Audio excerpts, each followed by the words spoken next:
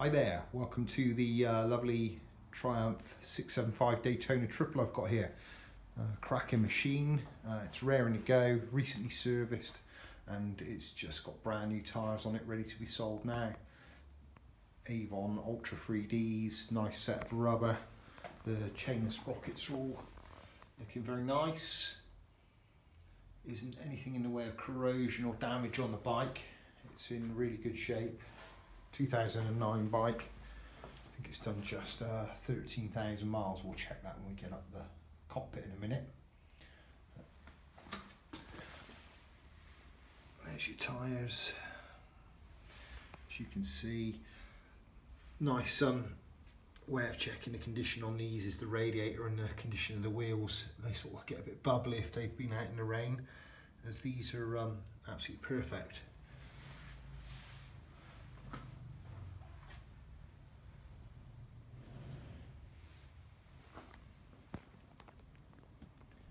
No dents, no rips in the seat.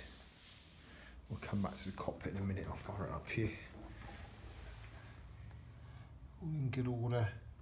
You're probably seeing a few reflections of bits and pieces here. Rest assured it's in good order. Um, trying to get in on the rad. The rad's in great condition, really nice, hasn't um, had much in the way of uh, wet going up into there, that's for sure. There's the front tyre, new again.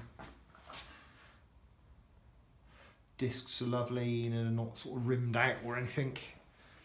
So um, yeah, nice bike and it's raring to go really, ready for the season. We've got 12,290 miles.